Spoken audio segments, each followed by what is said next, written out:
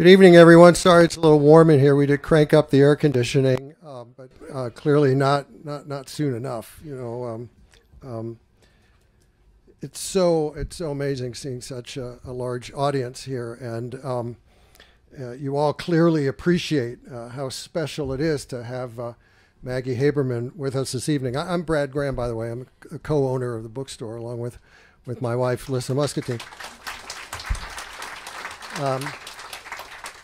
Um, you know, among all the journalists who've, who've co- covered Donald Trump over the years, Maggie has done so uh, most extensively and um, now has produced a definitive book about Trump's life and presidency, A Confidence Man, The Making of Donald Trump and the Breaking of America. A native New Yorker, Maggie got her start in political reporting with New York's two famed tabloids, the Daily News and the Post then moved to Politico for a few years before landing at the New York Times in 2015 as a campaign correspondent. Uh, during Trump's presidency, she was credited with, with countless scoops, and her book is filled with lots of, of, fresh revelations. But as Joe Klein wrote in, in a review in, in the Times, uh, more than the news nuggets, Confidence Man is notable for the quality of its observations about Trump's character and, and will undoubtedly serve as a primary source about the most vexing president in American history. And yes, uh, there's been um, uh, lots of previous, uh, believe me, uh, we in the book business are very grateful about that. um, but but Maggie's is, Maggie's is the whole package. Uh, it joins the story of how Trump came to be before he assumed the presidency with how he operated as president. It examines the influences that shaped Trump's personality and character, and then how those traits defined his presidency. Uh, in the prologue, Maggie recalls how, after uh, covering Trump during the 2016 campaign, she received a note from a colleague um, when Trump won saying, This is great for you. She was told she, she was quite surprised, actually, if you can believe it, to see all of you here gathered for her. Um, but you know, uh, her, her tough, uh, outstanding coverage also has made her a target of uh, Trump's attacks and, and other uh, uh, even uglier stuff. Uh, so please understand why this evening um, we won't be having a, a, signing line at the end. Maggie has pre signed a, a lot of other copies uh, for anybody who's who's interested uh, afterwards up at the um, checkout desk. Maggie doesn't do many in-person appearances, which makes us appreciate all the more her presence here this evening. We're also grateful to have CNN's Kaitlan Collins moderating the event. Uh, as White House correspondent for the network, she's had her own many experiences covering Trump, uh, and as a sign of uh, her rising star in broadcasting, it was announced earlier this month that she'll soon be co anchoring a revamped CNN morning show. So, ladies and gentlemen, please join me in welcoming Maggie Haberman and Kaitlan Collins.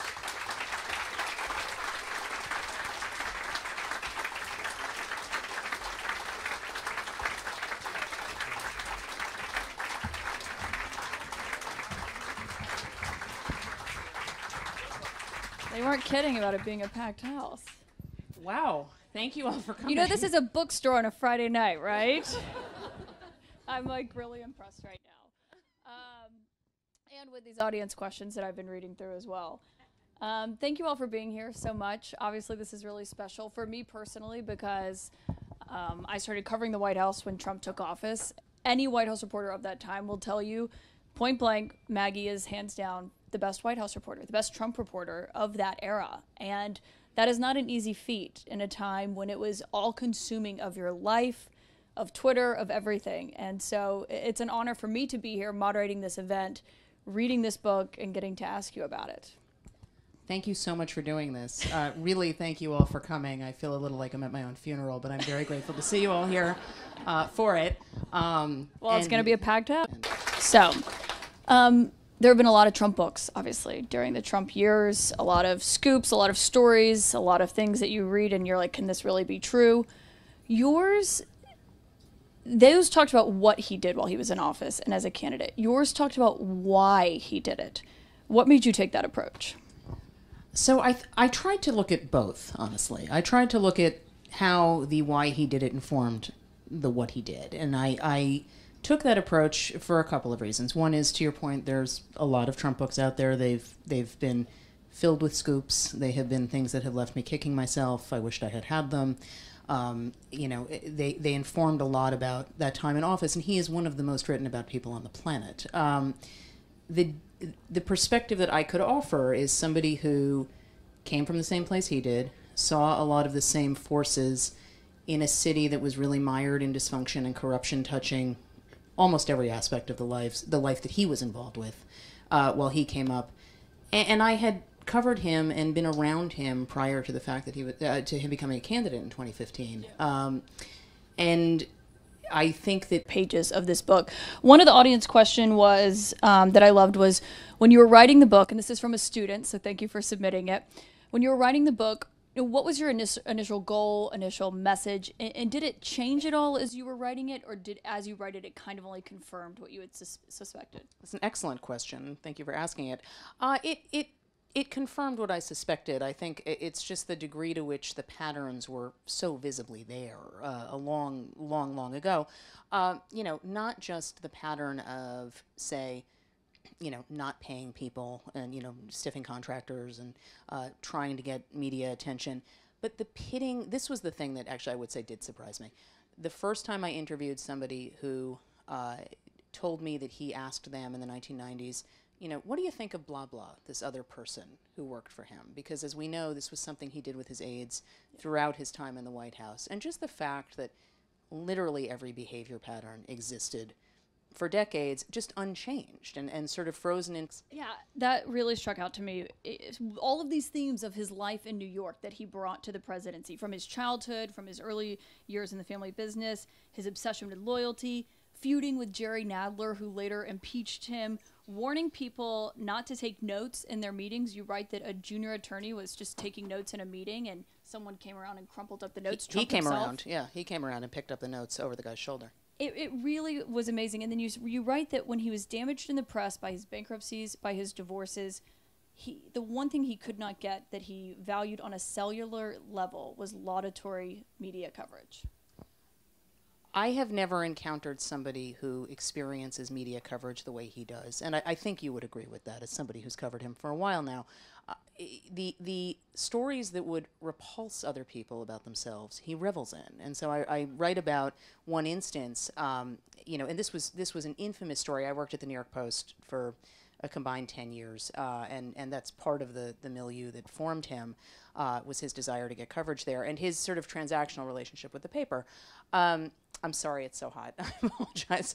Um, but uh, uh, he, there was this one story that's a famous front page, which was, you know, when he was having an affair with Marla Maples, and he was with Ivana Trump, and it, the headline was "Best Sex I Ever Had."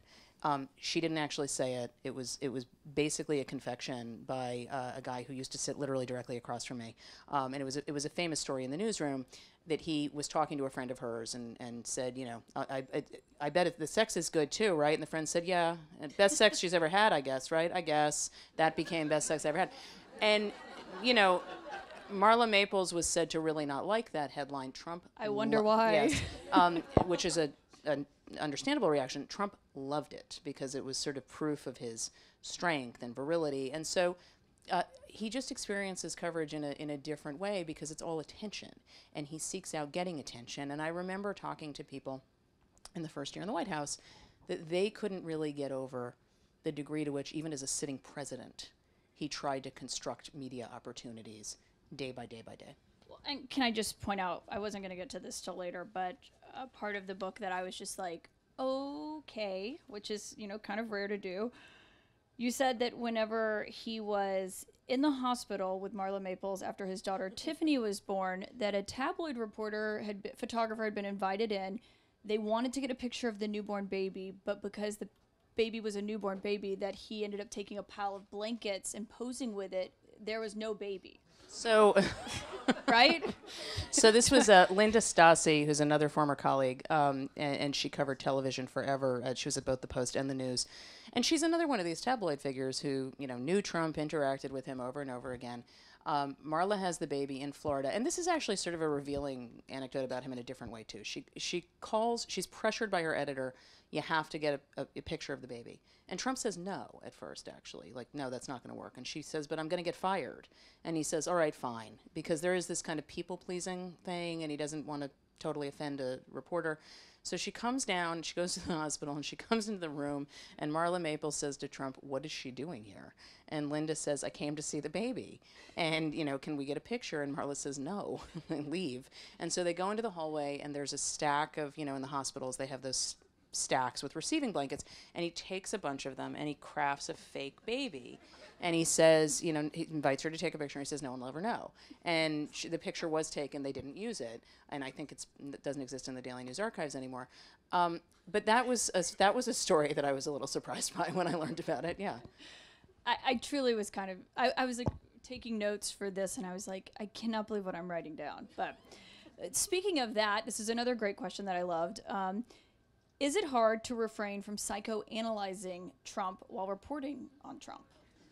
Um, it is not hard. Um, the uh, we we get pushed to a lot, and I actually have tried to resist that. I think there's a difference between analyzing why he does something versus putting him on the couch, right? I mean, I think there's plenty, and there's a long history of analyzing presidents this way. Bill Clinton was analyzed this way forever. You Yeah. know, Obama's emotional state was examined forever. You know, H, uh, HW's was, W's was.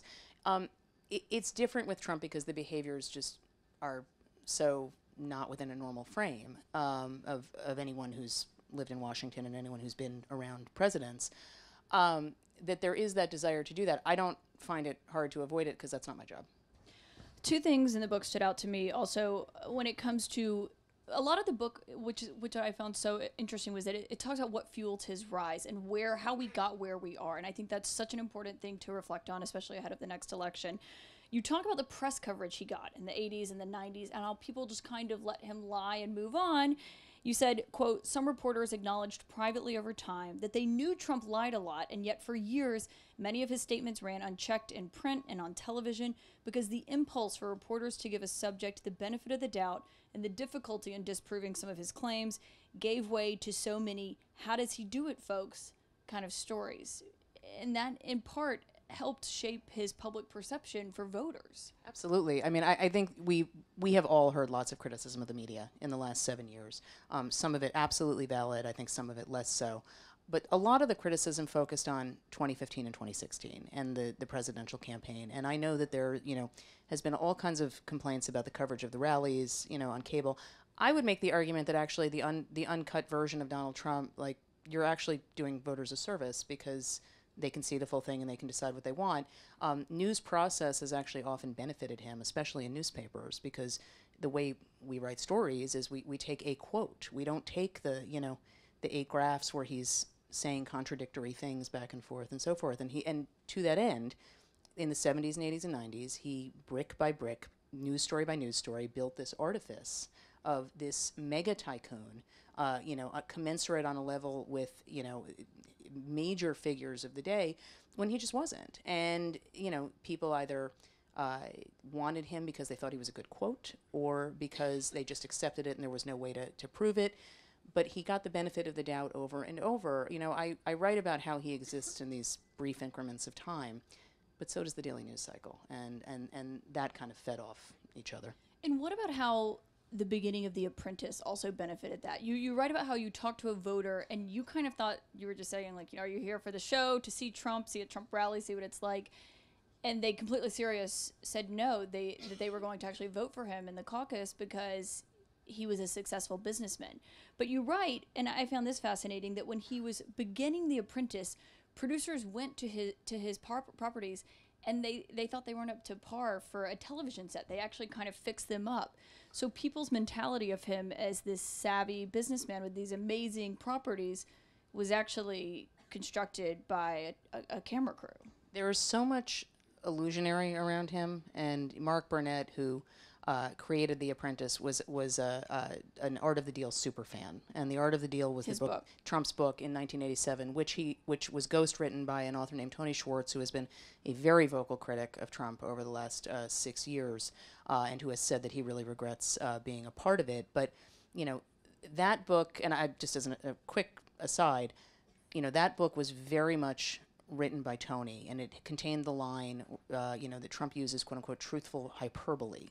That's that's not what he uses. That's I mean, he just says things that aren't true. Um, but a book that was much more authentically Trump. For those of you who just want to get a sense of the difference between the myth making and the non myth making, and I write about this, is a book that Trump wrote called "Surviving at the Top." And this was uh, after he had gone through his his you know personal problems, his financial problems, and it's it's so bitter. I mean, you know, he he he talks about uh, you know uh, Malcolm Forbes, who had just passed away and who was a closeted gay man, uh, and how repulsed he was that people in the media were quote unquote covering for him. I mean, it was really the the change in tone from these books was the clearest sort of reminder that actually someone else is writing this, and it was a precursor to what we saw in the White House with here's teleprompter Trump here's Twitter Trump, right? Which guess which one was more real? So when we get to The Apprentice, Mark Burnett, who is a super fan of the book, creates a character of Donald Trump basically based on this book.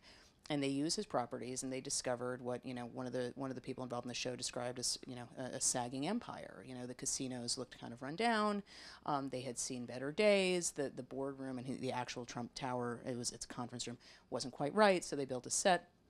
But people saw that and they believed it was real. And I was not an apprentice watcher, so this was a phenomenon I didn't understand until I went to Iowa and I was asking a very leading question of people at this rally in Dubuque, which was basically, are you are you here because this is this show is going to leave town soon? Because everybody, you know, the, the polls at that point showed I think Ted Cruz uh, ahead, Trump had been struggling, um, or Ben Carson was ahead, and folks, one after the other, said that they were going to caucus for him, including one guy who looked at me like I had eight hits when I asked the question. And he said I watched him run his business, and he meant this television show. They obviously love Trump. If you go to a Trump rally and you stand in line for hours, it's I've been to ones where it's snowing, raining, the weather's terrible, it's late on a school night. A great question that I loved that someone asked, how does Trump actually feel about his supporters? Um, that's an excellent question that um, that comes up in the book.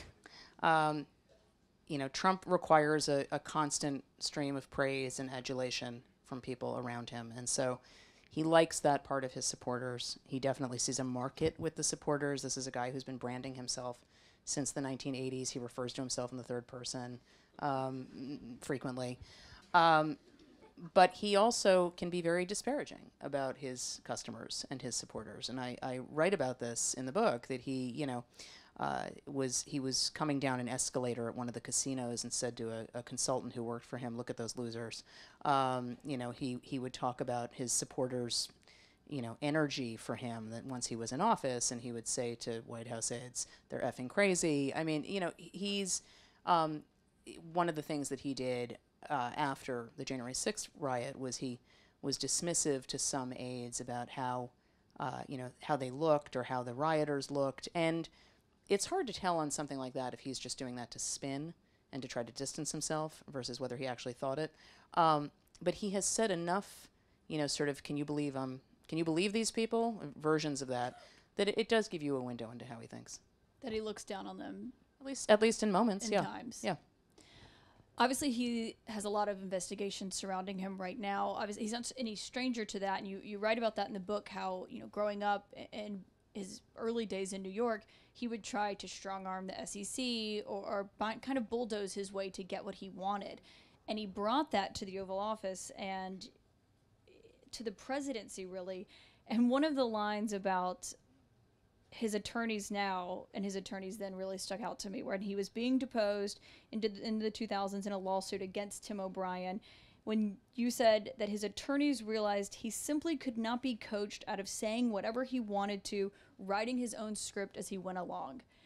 I would assume that his attorneys right now who are working on the Mar-a-Lago case on the January 6th investigations would say yeah I agree with that Yes, and then some of them would say yes, and others would say this is this is not good. Um, and and that that split and that that schism within his circle of advisors and lawyers, or you know, uh, political advisors, financial advisors, is a hallmark of whatever he has run, uh, and happens every single time. But it is true that that lawsuit and the deposition that he gave in that lawsuit was incredibly revealing about you know he talked about how he makes mental projections on what his golf courses were worth.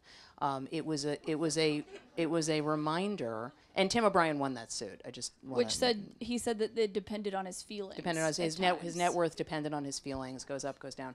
Um, This is in a deposition. in a deposition, and and so I, I and, and his lawyers realized that there was there were challenges around you know getting him to stick within certain lines. Um, where this became a really I think important and telling and, and, and precursor moment was when the Mueller investigation is happening in 2017, and when Mueller is first appointed. Remember, this is after James Comey is fired. Trump tells his lawyers he wants to literally like go across the street and go talk to Comey. And one of the things I explore here is how it wasn't just bulldozing regulators, although there was certainly a lot of that. There was also a lot of trying to charm people who oversaw him, or prosecutors, or public officials. Uh, one of the one of the most surprising pieces uh, of reporting for me, and I don't know how many of you are familiar with New York's legal system, so I apologize for this uh, little little diversion. But Robert Morgenthau was the Manhattan District Attorney forever, and Trump developed this relationship with him. And Morgenthau was the person whose office, you know, other than the federal prosecutors, most closely oversaw Trump's businesses. And Trump made a point of, of turning him into a friend. And Trump said to me, I asked him, would you still be having, would you have these issues that you're facing right now if Morgenthau was still in office? Morgenthau left office and passed away a while ago. And Trump said, no, Bob Morgenthau was a friend of mine. Bob Morgenthau would not have stood for this. And that said a lot to me about everything that we have seen in terms of his actions. You know what that kind of reminds me of is when he called House Speaker Pelosi when he found out she was going to impeach him over the Ukraine stuff. He, he tried to call her to convince her not to impeach him. He tried he tried to call her and then he talked about suing Congress because he thought that the Supreme Court was going to decide this. Um, because those are those are the things he understands. You know, he, he volunteered a story to me uh, during one of our interviews about And how many interviews did you do with him? Three. Thank you for asking. Um, three interviews last year. Um, he volunteered a story to me about how he had tried to get Mario Cuomo to arrange for, you know, Andrew Cuomo when Andrew Cuomo was the HUD secretary and Trump needed some help on one of his projects. He basically wanted Mario to make some connection for Trump. And when Cuomo, when Mario wouldn't do it, Mario Cuomo was the former governor of New York and somebody to whom Trump had given lots of contributions over the years. Um, Trump got very angry and, and, and you know tried to get him uh, tried tried to get him fired and it, it's uh, and he's just telling me this as if this wasn't going to raise some eyebrows and so but this is how he sees the world. What were your three interviews with him like? Uh, so they were overall five hours. The um, the first uh, And where were they conducted? the first two were at Mar-a-Lago. Uh, one was in March and one was in April. Uh, the one in March, he was in pure salesman mode. Uh, you know, he he was sitting with almost every author who wrote a book at that point, including Michael Wolff, who wrote the first um, less than flattering account of the Trump White House, and and it said, uh, you know, it, it was it was consistent with what we were all reporting at the time, but it was the first book length report about it, and so. You know, he was in he was in salesman mode. He was trying to charm. He was well aware of the fact that uh, you know, January 6th had left an enormous stain on his legacy, and, and I don't, I think this I don't think was something he thought about at all, but it, it left a, a, a big impact on the underpinnings of democracy in this country. That wasn't something he wanted to talk about, but he did, he was, you know, he wanted to talk about the old days in New York, and he, he was bitter about Biden, but not viscerally the way we've seen since. He, he made, it was right after Biden had that incident where he was tripping up the steps to Air Force One. And Trump said something to the effect of, "Do you th- do you really think I lost to the guy who fell up the stairs?" And that was actually, I thought him Less Like- about Biden, more about him, him. correct. And so, but it was not. We it was he wasn't talking, you know, about fraud or you know the election. He he, he was insisting that he didn't really lose, but it wasn't as vociferously as it became. And then a few weeks later, I went back down for a follow up, and uh, he was in a terrible mood, and he had. I found out later that he had apparently been dragging some of his employees around Mar-a-Lago, showing them messed up plaster and various spots in the wall. That and he wanted to fix before you came. right, no, no, these were not related. Um, these were these were these were. I these, do that too at my house. were- who- who among us? I I think I, mean- can fix all my problems before anyone Yes, shows I was actually going to do a perimeter walk. So, um, but uh, uh, he was in a terrible mood, and he he immediately started out talking about what was front of mind for him at that point, which was that so-called audit of Arizona, which was being done by, um, I think it was conservatives who, you know, were trying to challenge the result of the election. Their so-called audit ended up affirming that Joe Biden won ultimately, um, but he he kept saying he was watching it very closely. I found out later he had tried getting the Republican National Committee to pay for that audit.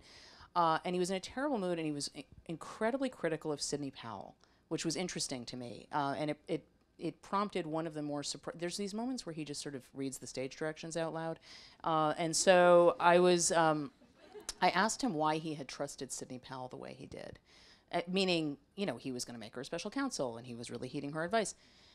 And he said something to the effect of, I, I wouldn't have, you know, had I known what she would say recently, which was in response to this um, lawsuit against her, um, a defamation lawsuit, where she basically said in response to an election, I think it was Dominion, uh, which protested her, her claims about their machines, she basically said, you know, why would anyone take me seriously or believe what I had to say?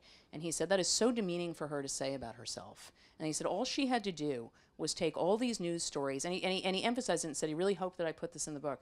Um, the, all she had to do, and I, and I did, all she had to do was say, uh, you know, upon information and belief, and then point to all these news stories about, you know, election fraud. That's all she had to do. And it was like sitting with the ghost of Roy Cohn. It was like, I mean, he literally, who was his, you know, his mentor and fixer, his first one. Um, that was a, that was an interesting moment. And then the the third one was in September of 2021, and it was the second time. It was at Bedminster. He he wanted to talk.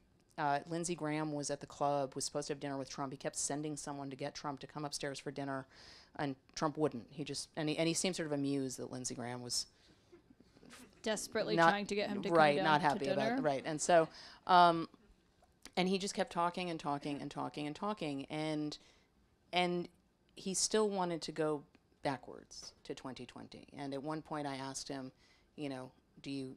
I have some questions to ask you about 2024, and he he said 2024. I mean, it was as if why why would we do that? So. when you go into an interview like that and you have a list of questions and topics you want to hit and he veers off course so much I remember one time in a coronavirus briefing you know in the middle of the pandemic i asked about ventilators and the question veered off to the middle east. And i was sitting there like did i ask the wrong did i black out and ask the wrong question? Like i couldn't remember. And so when you go in there how do you how do you make sure you're talking about the things you want to talk about and not just him relitigating 2020 or certain topics that you want to hit? So it's, I would answer that question two ways. One is I actually something you asked him once in one of those briefings is something I think about a lot about one of the best ways to ask him a question, which was he had cited some fact and I don't remember what it was, but it wasn't true. And you said that's not true. Who told you that? And it was a great question. It was it was one of the it was one of the the if our si- friend Olivia Nuzzi is in the house she knows what it was that was he said he said when he was president when you're president you have absolute absolute That's power, what it was. Yes, authority. that's absolute absolute power. Um, that was something. Anyway, so um, uh, but I thought the way you handled that was spectacular, and I thought it was a real model for how you sort of turn something to get him to actually focus. It's hard. I mean, sometimes letting him talk does yield something. So, for instance, the Sidney Powell stream of consciousness Yeah. was very interesting. Um, you know, there were a couple of other moments that, that were that were like that.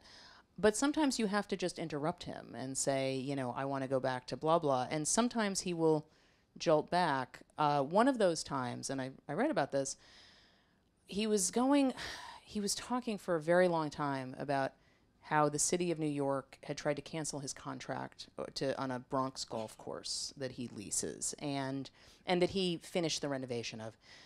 And so we, we literally did like five minutes on this, and I'm just listening. And I so I I tried redirecting it because um, this was going on a bit, and he and he cut me off, and he said something like, "Let me just finish this, and then I'm gonna and then I'm gonna tell you." And I said, "Okay." And then he said he said, "Let me just like let me just finish." And I I said, "Yeah." and he sort of hurt himself. And he he looks at his two aides who are in the interview, and he says, and he gestures to me, and he says, "I love being with her. She's like my psychiatrist." And it doesn't mean anything. This is a line that is intended to flatter. This is something he has said about a number of things. He says it about interviews, but it was um, it was indicative of just how much he is working it out in real time in front of everyone. And in that moment, he just needed to talk. Um, so sometimes redirecting him works, sometimes it doesn't. Sometimes he's whipped up in such a terrible mood that, you know, and you know this, you, you can't get an answer. Um, but my approach to this, honestly, for this book project was there were things only he could answer. And I needed to ask these questions. Did you try to interview him anytime after the third time? Um, no, because then I reported in February that he'd been flushing documents down the toilet in the White House, and that was not seen as a Wasn't fan happen. fan favorite. So no, that was that. But I, there is one question I wish I had asked him, um, Which is? and and I I started thinking about it recently, and, and I don't even know that I would have gotten the truth, but it still would have been interesting. Whatever he said, did he ever consider a taping system in the White House? And the reason that I wish I had asked that is. Uh, and I don't think he would have said yes. Uh, and I and I I've been told by everyone that no such thing existed. Um, but a he has a Nixon vaccination. He kept talking about Nixon in our interviews. Nixon wrote him letters. This was a a big thing for a while, um, and he he he sort of courted that relationship. Um, and he liked comparing his impeachment to Nixon's near impeachment. That was another one. He told me he was having a great time during his impeachment. Nixon's was a dark time. Um, but also, there was always Trump was always notoriously described as taping when he was, you know, uh, at Mar-a-Lago. There were I, in his campaign offices in 2016. Aides thought they were being bugged. So I just I wish I had asked that question. I'm sure you'll have the chance again potentially someday. We'll see. Uh, I do want to talk about Twitter because this has been such in the headlines, and I'll get to my question on that. But one of the best parts of the book was you talked about when Trump first got his Twitter account, and people were trying to encourage him to use it. It was this new thing. They were saying that you could get more engagement if you interacted with people. And then he realized he could just tweet on his own. It didn't have to be a, an aide saying, actually, this is a good idea for you to tweet about. And Justin McConney compared when Trump realized that he could tweet himself without any engineering or planning behind it, that it was like in Jurassic Park when the dinosaurs learned they can open the doors themselves. Um, Trump's Twitter feed went from being sort of a source of amusement to people who worked for him to a source of sort of daily horror, um, and uh, and that obviously continued in the White House. Um, one of the uh, the things that I found in my reporting was that he he spent an incredible amount of time trying to figure out what engaged people on Twitter. So, you know, uh, this woman, Meredith McIver, who worked for him and became famous because she was the one who supposedly plagiarized from Michelle Obama's speech at the convention that Melania Trump delivered. Um, but she. That seems like so long It, ago. it seems like a very long time ago. She sent um, an email to Sam Nunberg, who was an aide who was working for uh, Trump at the time, who worked on his Twitter feed a lot and suggested a lot of tweets. Um, and she said, you know, he's been looking at this and he's been realizing that, you know, the stuff about New York doesn't really get attention. You know, the global things get more attention, and he noticed this has more retweets and like, and it was, it was wild uh, just how much time was being spent on this. Um, and for him, it, it was ultimately a perfect medium, right? I mean, he could just stir up a controversy and he could scream at someone and walk away. And, and more importantly, everything looks flat and the same on Twitter. And he is a man who is honestly devoid of context. You know, I mean, one of the things that I thought about a lot after my interviews with him, I asked him about um, Meade Esposito, who was the deeply corrupt former Brooklyn Democratic Party chair, machine boss politician, who Trump's father was close with. Um, and Trump had ties to. And Trump described, um, Trump was incredible, like, talked about him as if he was talking about, you know, a hero. And he said Meade ruled with an iron fist. It's the same language he uses about Xi Jinping. It's just that, you know, the, the, the idea of strength stays the same. It just sort of doesn't matter where he is at any given moment. He's impressed by it. He's impre- well, he's impressed by it, and it doesn't occur to him that not every setting is just like every other setting, which is why Twitter was so good for him. Do you think he would get back on Twitter if Elon Musk allows him to get back on Twitter? There is zero doubt in my mind that he would come back to Twitter, even though I know he has said he, He hasn't. He has said he Yeah. would not get back on Twitter. People mount me too. I must. It'll be something like that. This is a really interesting question. Um, has anyone who is anti Trump, a reader, reacted to parts of your book thinking differently or maybe admiring Trump a little bit? Boy, if they have, I haven't heard from them. They haven't written you? you know, I want to talk about you also because you have said in a few interviews that you've done about this book, which is exceptional and everyone should read it, that you don't think he is obsessed or fixated on you particularly. You think it's the New York Times. I don't think that's true.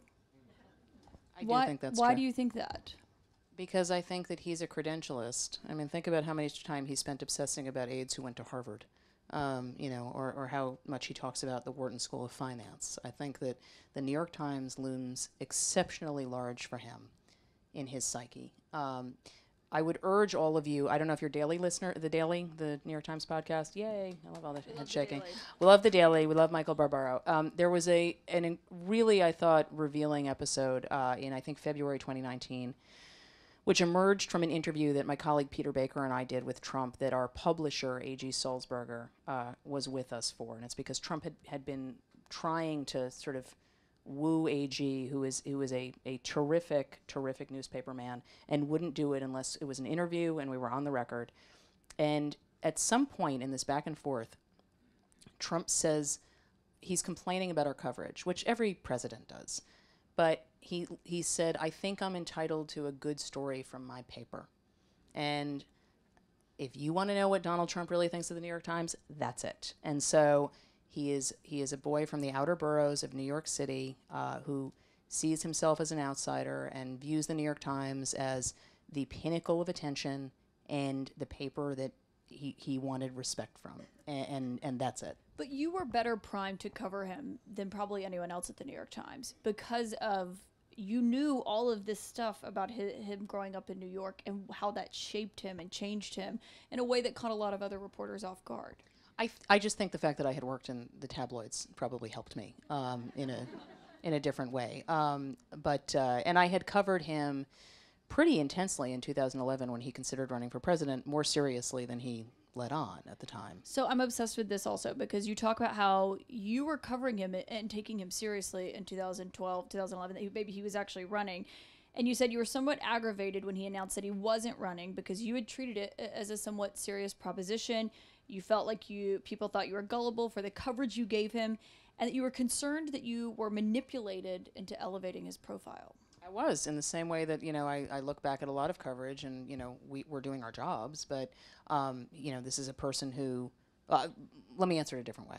Uh, part of why he got so much coverage in 2011 was that he was spreading this lie about President Obama being born in maybe born in Kenya, which was a lie that he had been nurturing privately for a while. You know, I write about how. Uh, you know, he, he gave his speech at, at CPAC in February of 2011 and Matt Strawn, then the Iowa GOP chairman, is watching the reaction to this speech and decides we've got to have that guy at our at our June fundraising dinner um, or some Which one is the dinner where presidential hopefuls go to. correct, and he can be the keynote. And Trump agrees. This is great. When Strawn and an aide go to Trump Tower to meet with him to talk about this, Trump is talking about Obama and he waves something from his desk and says, "I'm not even sure he's born here." And that was way before this was public. So uh, he was he was, and as he often does, and you know this, he kicks these things around for a while and, and sees how they play with people. Um, so that was part of why he was getting attention, and we were rightly um, saying that this wasn't true.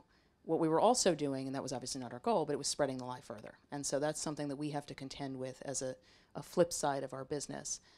I was also seeing that he was getting a real reaction among certain aspects of the party's base, and that he was clearly there. There was an element of the base, particularly in that that year or two right after uh, the Tea Party uh, emergence, um, that wanted to see a candidate who would fight Obama, and in a way that you know Romney, with his patrician roots, just was never going to. And so there was a reason to cover him. But yes, I was getting lots of he is never going to run. He's not going to release his taxes, which he never did. Um, but you know, he did do a personal financial disclosure, and so when he when we spent all this time on it, it it just felt you know sort of predictable.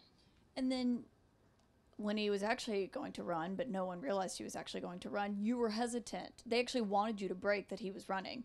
And you said I'm not doing it until he announces that he's actually running. Because at a certain po- point, you feel like you're walking out a foot on a football field with a banana peel, right? I mean, it's like it, it was in 2014. Uh, it was very clear that there was going to be a very large Republican field Yeah. uh, for 2016. A- at one point, it even looked like Mitt Romney might be in it. And my then colleague at Politico, Jake Sherman, and I, I, I left Politico at the uh, beginning of 2015 to go to the Times. We were writing a story about the big field, and Jake said, "Should we put Trump in?" And I said, "Absolutely not. He is not running. I am not doing this again." And so it was not a good call in retrospect, but it was a very defendable one. And so Sam Nunberg called me, uh, this same Trump aide, and said. Trump's going to announce on, on June 16th, and we want you to break it. And I said, No, I'm not doing this. And he said, Well, will you please come have lunch with him? So I came and I had lunch with him, and got the you know the tour of his office on the 26th floor and he's showing off his trophies. Here's i mean not literal trophies. It's like here's shaquille o'neal's shoe. And here's a thing that, i mean this is this is real. He has a, these all these tchotchkes in the window.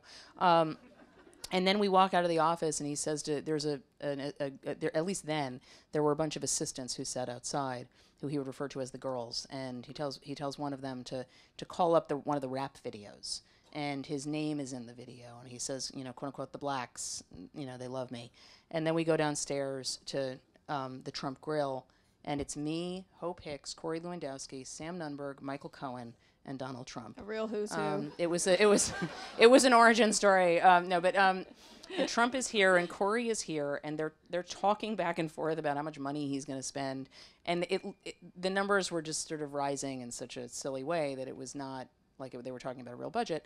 And Trump was clearly getting frustrated that I wasn't taking this seriously, Yeah. and um, but I wasn't taking it seriously. And when he finally ran, you wrote on page 200 that you asked a longtime acquaintance, you know, why now after all of these considerations before, pretend attempts, banana peels, and the person responded without hesitation, quote, he's gotten crazier. Yes, that is what the person said. How has your relationship to and with Trump how does that come through in your reporting? Because you have a relationship with him like very few other people do. So I actually I disagree with you there. I think he's a subject who I cover. Uh, I covered Hillary Clinton. I covered Mike Bloomberg. I covered Rudy Giuliani um, in his final term in, in office at City Hall, and then his presidential campaign, and then versions of him in the last several years. Uh, I covered it more of a remove presidents Clinton, Obama, uh, W. Um, now he just interprets coverage differently. I don't. I, I just the word relationship I think is not the right Well, one. relationship too, I think I think he thinks of you in a certain singular way that separates you from other reporters. I just don't think that's true. I don't. I, I- don't. I mean, I think he's obsessed with the Times, and I think that's that's a lot of it. I think sometimes reporters would disagree with you. Times reporters who wish they had a book. Um, this is Lots a of Times reporters with a book. We're doing okay. This is a question not from the audience, but from someone who worked in the Trump White House, who I was speaking to, and I said, you know, if you could ask Maggie a question, what would you ask? And they said, what is a common misconception about Trump that has informed that you understand that has informed your approach to covering him?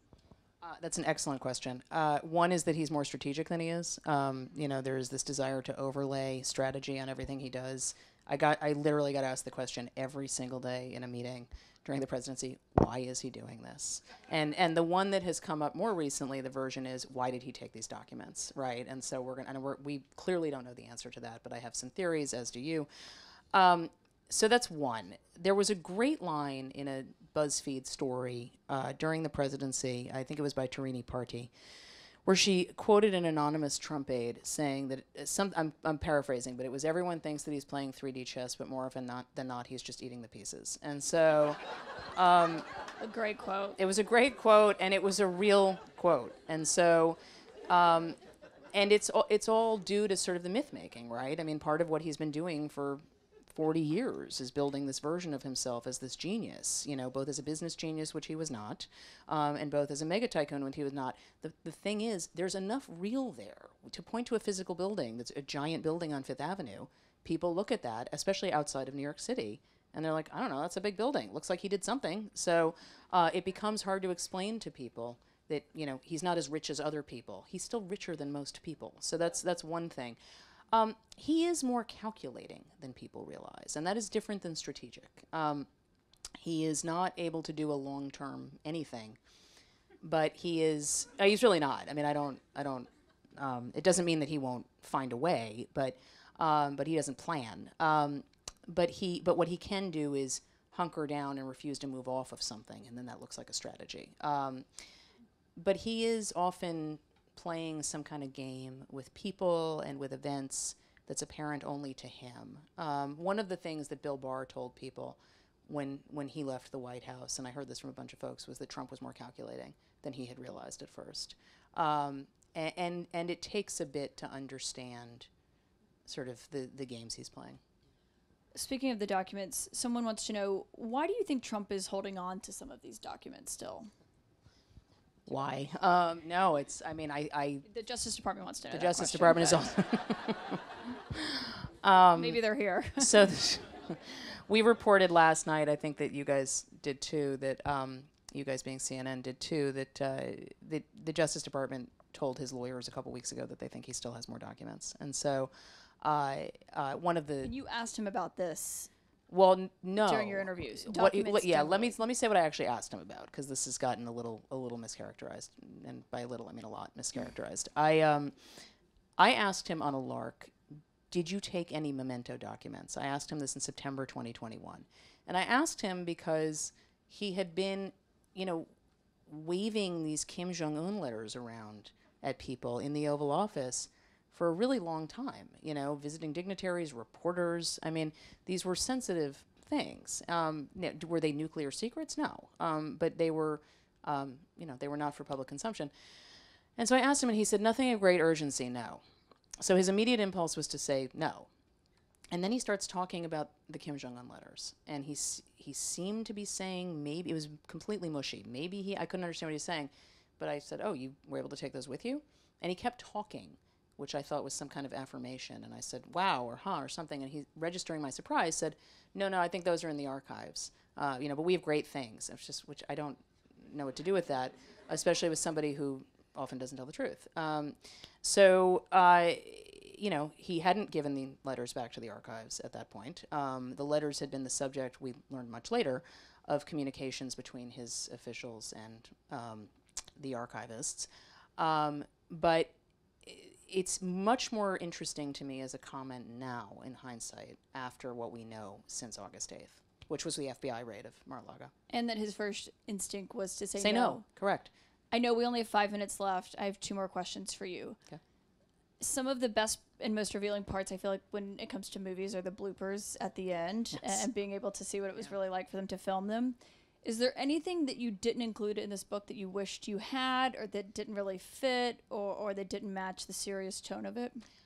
The answer is an emphatic yes. Um, I will tell you two stories. Um, Okay. In most cases, it was stuff that I couldn't either couldn't confirm enough that I felt comfortable. Um, in some cases, it just didn't sort of move. I mean, it, you think when you're going to get a book, I don't know how I'm going to fill it, and then you're like, oh my god, I have to cut this and this and this. It's already a really long book. Um, so uh, at a certain point, you can't keep having the, sa- same version of an anecdote over and over again. I heard um, two stories after uh, after I had finished the book that I would have included if if I could have, and one is H.W. Bush out newly out of office, maybe a year or two, is at JFK Airport. He's getting ready to go do a speech overseas, and he's reading a newspaper, possibly a newspaper I work for, and. Um, and someone comes over to him and says, "Excuse me, Mr. President, Donald Trump is here, and he's wondering if you'd like to meet him." and and Bush sort of pulls Ran the, over? pulls the paper down and says no, and then goes back to, and thus began a decades-long warmth toward the Bushes. that's why he hates the That's why he Bushes. hates the Bushes. Um, so that's that's one. The other is, um, and I, I have some I have some reporting in the book. I, something that hasn't come up a lot in interviews about this book that uh, is a theme throughout, and I really did try to write a book of reporting and not takes, but. Um, the theme of You succeeded in that. well, thank you. But the, the theme of um, of how violence animates his idea of strength, and then strength in terms in turn animates what makes a good boss. So there's a couple of incidents. One is 1990. One is 2019, where he throws things. Um, in one case, he throws it at a person who's quitting the Trump organization. The guy's quitting, and he literally throws something at him. And a friend of the guy's thought it was a shoe. Um, in 2019, when he finds out that James Comey is not getting charged and, and Barr is telling him no, he, he spends the afternoon calling one person after another in the little dining room off the Oval Office. You know, don't you think he should have been charged? Um, and then in frustration, he picks up the remote control to the television in there and slams it into the credenza in front of people. Um, this is, I think, important in the con. I think it's interesting, but I think it's important in the context of the January sixth hearing where Cassidy Hutchinson testified and talked about, which I'm sure many of you watched, if not all, and she talked about an episode where he threw a cheeseburger at, a, at the wall.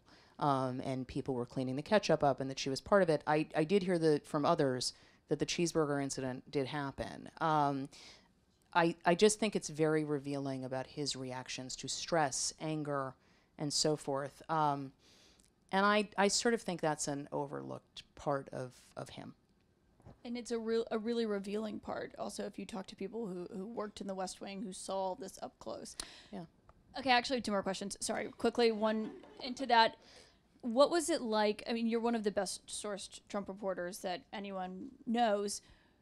Were people more willing to talk to you because it was a book and it wasn't going to be in the Times on the A1 the next day? 100%. I mean, so I, one of the things that I found out in, in the process of covering Trump a couple of years ago, as all of these these books by competitors were popping up, and they had such good stuff in them. Um, you know, the the, uh, the the first Phil Rucker book had just amazing stuff, um, and I asked somebody who had clearly talked for the book, who I had asked a question related to something in the book for the paper, and I was annoyed. Why do people do this? Why will you not tell me this when I ask you? But why are you doing this for a book? And their answer was because there's no immediacy. It doesn't come out right away. It's I don't have to worry about it. It's not a tomorrow problem. And implicit in that was there's not going to be a big leak hunt, right? You know, right away to figure out what this is. I don't have to worry about this being shoved in Trump's face. And it was interesting. I got a text from um, a, a Democratic operative who I've known for a long time this morning who saw that I had said that in another interview. And the person said, This really spoke to me because that's why I do it. And, you know, I just don't have to worry the same way. So this, there, was, there was some bipartisanship um, in this. Um, but there were people who just refused, including when I would say, Can I please use this in the paper for tomorrow? They wouldn't do it. So I was working with my editors at the Times a lot throughout this book and stuff that, you know, was confirmable that we could put in the report that the editors wanted. We did. And I think that really speaks to when people say, "Oh, you sat on this interesting story or something Trump said for a book." It, it was you have to get people to actually say stuff to you, and, and sometimes it's under their conditions. Well, and also I think there's an assumption that a if something appeared, we must have known it in real time, and that's just a complete mistake. Number one, um, and and number two, there is to it, it isn't just about sort of where it appears. We we don't actually as reporters just print everything we hear the second we hear it because we need to confirm it, and so we need to make sure it's real. Um, and and that's a part of our process too. My last question is going to come from an audience member. Do you think that Donald Trump actually wants to be president again? At this point, yes, I actually think I think the reverse is true of what was true in 2016. I think that he didn't want to be president; he just wanted to see if he could win, and he was having fun campaigning. And now I think he doesn't want to campaign, and he just wants to be president. Can we get a big round of applause for Maggie Haberman? Thank you so much. Thank you, Kaitlan. Thank you, Brad. Thank you, thank you, thank you.